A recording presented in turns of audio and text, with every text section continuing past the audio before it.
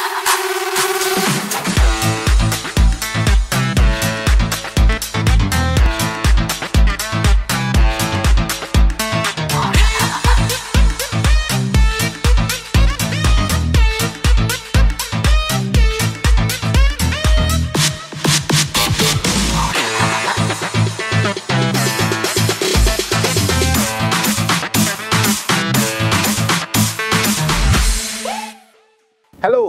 I'm Atubo George, and I'm so glad and grateful to God for this opportunity to bring God's word to you. Now, before we go on, let's call for that daily bread. Are you ready? Are you ready to receive something today?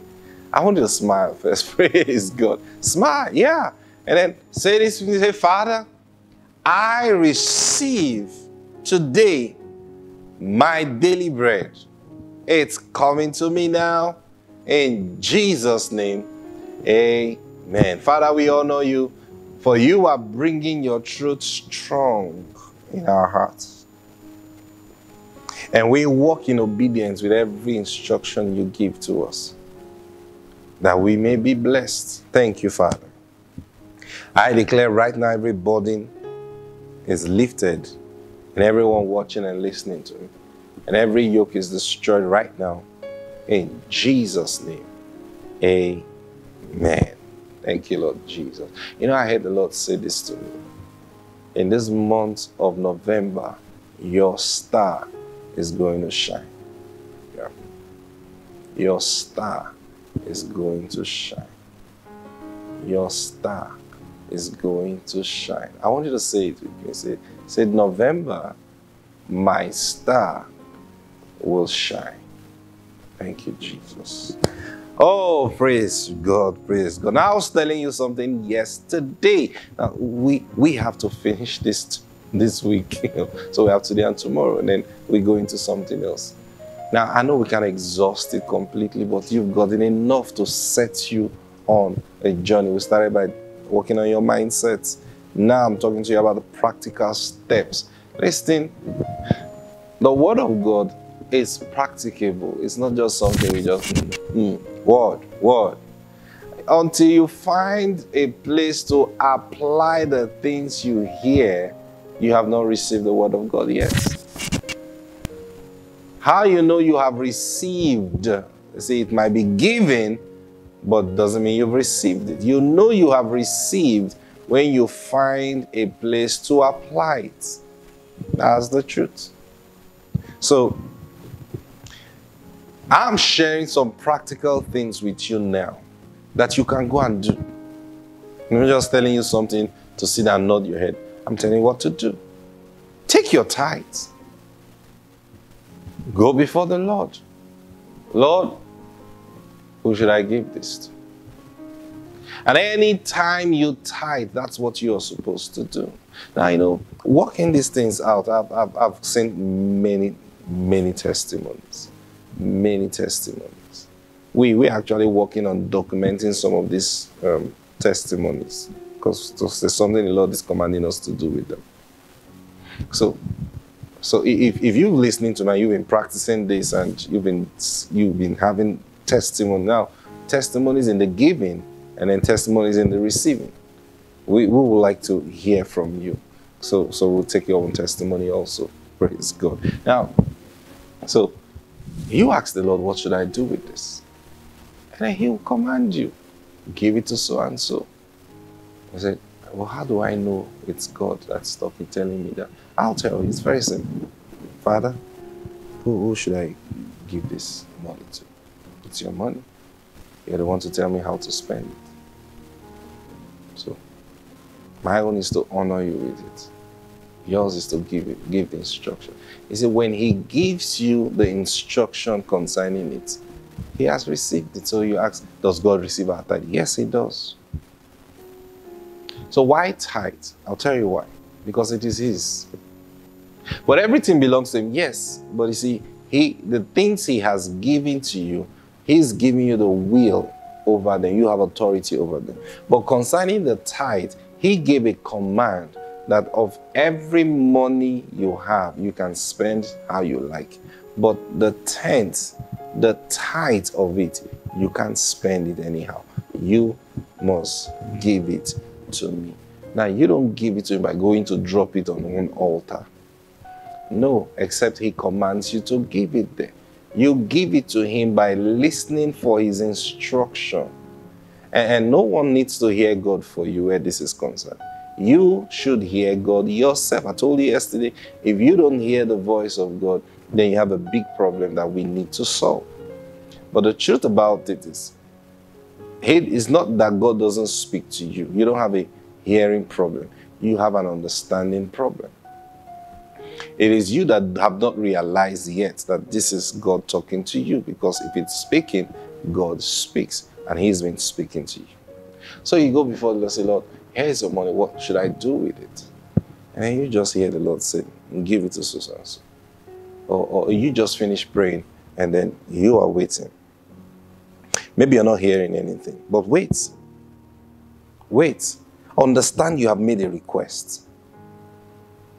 You see, when you go to an ATM machine and you slot in your card, put in your, your PIN, and give the commands you need to give, what do you do afterwards? You wait. You don't just finish punching all those keys and then you just walk away. You wait. What are you waiting for? A response from the machine. It may take a few seconds, sometimes even up to one minute. And then your money comes out. Now, if you walk away, the money may come out and someone will collect it. So when you pray, know that you have prayed. Why are you waiting for that machine? Because you gave some right instructions. So when you pray and ask God, wait, and you're watching. Now, at that moment, now when I mean at that moment, that day or that that that time you prayed, or minutes after, hours after, but that, and, and you see, your spirit will get this. You may not hear a voice, you may, but you see, I'm trying to share different scenarios now, scenarios now. You may not hear a voice saying, give this person the money. Not necessarily. Now, you just finish praying, and, and suddenly someone's name just starts coming to your heart. You know, Chinedu, Chinedu, your friend, Chinedu, your friend, Chinedu, your friend. You wonder, why am I thinking of Chinedu? Or a pastor, like, oh, that pastor. You, you see, it will come. It will come as a line of reasoning. Sometimes that's, that's what happens. So you see, my mind was telling me, that's what you say. But not your mind I was telling, it's God that was speaking to you. My mind was telling me, you know, there's this pastor that, I don't know, you're just coming to my mind that I should give him the money. It's not coming to your mind. The Lord was talking to you. Now, what do you do? Okay, I'm not sure. Father, it's been coming to my spirit to give this person. Is that what you want? Can you just give me a confirmation and I'll do it? Don't be afraid to ask God for confirmation. You will be amazed that person, if the person has your contact, that person will just call you. Or you will be amazed someone else will just call you. Maybe you don't even have that person's call. Someone will just call and say, hey, how nice everything? Oh, fine. Do you know I was speaking with um, so, so, so person? Like, oh, okay. Oh, you have his number? Yes, I do. Please, can you give me his number? You see, whoever the Lord tells you to give it to, he will connect you with the person. Yeah, he will. So, because you are expectant that you have prayed, or someone will just come and say, ah, Do you know, so so person ah, was in need. And you can even go and say, Sorry, how much will take care of that situation? Oh, the person, I think I even spoke to the person, he needs this amount of money. And you just realize that that was exactly the tithe that you were asking the Lord about. Now, what, what do you think that is? So you see why I said the problem is not God speaking. The problem is you recognizing that this is God. You're like, whoa. And I said, what a coincidence. It's not a coincidence.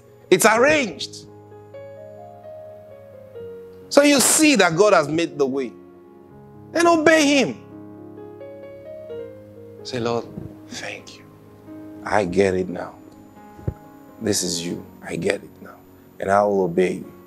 And then you take that tithe and send it to the person. You don't have to tell the person, this is my tithe I'm sending to you. No, not necessary. You may if you just want to for teaching purpose or for you know, but but you see, when you are giving it to that person, it's no longer tithe. You are just giving the person money as a messenger from the Lord. You understand what I'm talking about? Like like when you save money in the bank now, and then you put, let's say you put a million naira in your bank account, and then you're leaving the bank, and someone else goes in to withdraw money, and you see the person, they're giving the person, If someone goes in to withdraw one million naira, and then they give the person one million. And they say, Ah, why are you giving this? I came to save my one million in the bank. Why are you giving it to this person? No, you can't give it to I brought my money. no, oh, it's not your money they are giving to the person. See? So it's the same thing. We take our tithes to the Lord. Where tithe is between us and God. Do you understand that? Now, when He commands you who to give it to, He is now giving you money for that person. He is not giving that person tithe. God does not give tithe. Understand what I'm talking about? He is giving his child, one of his child, money. But you paid your tithe to the Lord. So get it, get it. Well, then, if you feel like oh, God said I should give you my tithe, it's not a problem. Uh, get what I'm saying? And then you obey. That money gets to that person. And the person is excited, he shares his testimony. Guess what? This was exactly the money I was believing God for. Or we, we, we came to this need and, and, and God just had to do this and now he used it to, whoa, praise God. Now, what's that to you? By money has entered into God's hand. What happens next? Of course, listen, go and sleep. Why? Because you have just entered into God's financial system. And in that financial system, God, you, you've heard preachers say, tithing is insurance. You've heard people say that. Very true. Very true. Because now, now what, what's been lacking, but I've been tithing, what's been lacking has, has simply been this. You have not been tithing properly. Now that's what I'm sharing with you. So I, I'm using tithes because number one, it is not your money. It's tithe is not free will giving. It is God's money. It is God's money. If you don't give it, you are stealing from God. And God is going to take charge. He will deal with you. Whether he will deal with you. Some say we all pay tithes, whether willingly or willing. That's not what I'm talking about. If you don't tithe, you are stealing. You are stealing what is God. Now, this is how bad the stealing is. Because you don't give to God. Now you understand when God says, Bring ye all the tithe into the storehouse so that there will be meat in my house. He wasn't talking about a physical church. Now understand this. When when when people ask God for things, now hear me. God is going to ask, He's going to supply that need from the resources that He's got available where? On the earth. Angel will not bring money back. Bullion vans don't move from heaven to earth. But God, who commanded us to bring a tenth of everything He blesses us from, He did that out of His wisdom. Now, it is based on that He can give us command God will not give you command. He is not a thief. He is not going to steal what belongs to you. He will only request, please, can you give this person this money? I'll pay you back. Now, that's when it's not tithe. And I told you before, when it gets to that point where God have to tell you to give out of your own substance, it means someone is disobeying God where tithing is concerned. Now, that's why there's so much corruption in the body of Christ in the earth. Why? Because we're not tithing properly. So there's a shortage. You see why God will judge you? Because you are causing shortage in the storehouse. You are here. Someone is asking God for school fees. You are here. Someone is asking God for house rent. And you bring your tithe before the Lord. And, and what are you doing? You are making the storehouse rich.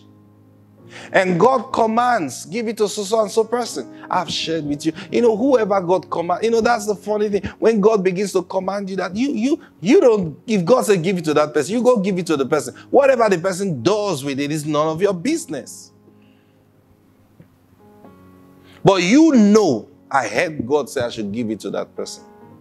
And I've obeyed. Now you start with this. Listen to me. You know, David said in, in, in Psalm 1, 127 and verse 2. He said, God gives blessings to his beloved in their sleep. That's why I said earlier, when you do this, you can go and sleep.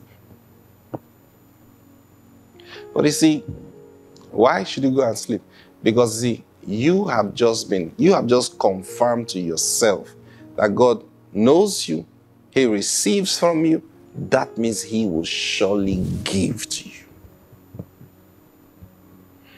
Even if you lose your job the next day, I, am telling you this, don't be bothered. Why do I say don't be bothered? Don't be thinking, what do I do now? No, no, no, no, no, no. As long as you have given tithe and you know God receives it, I'm telling you this literally, you can go and sleep. Father, we honor you today. Your word is true. And we obey and receive it. Confirm your word with signs following today. In Jesus' name. Amen. Now, don't miss this evening's meeting by 6 o'clock. I'm going to be sharing more on this. God bless you. Bye.